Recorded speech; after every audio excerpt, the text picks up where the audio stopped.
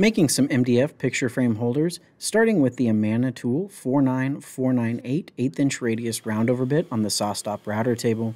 Each of the 22 strips gets rounded over on both sides. I chose a bit with a half inch shank here to provide as much stability as possible for the long boards with me pushing against the bearing. I switched out bits for the Amana Tool 49352 Multi-Rabbet that comes with five different bearings to give you five different sized rabbets from quarter inch to half inch and 1 16th inch increments.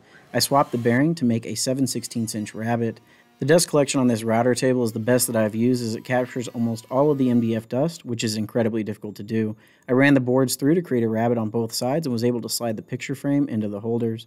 Both bits cut over 350 linear feet of material and left a very nice clean cuts on all of the pieces with no cleanup work needed at all. All of the tools used in this video are available on our website. Be sure to check them out there. Hopefully you guys enjoyed this one. Have a great day everyone.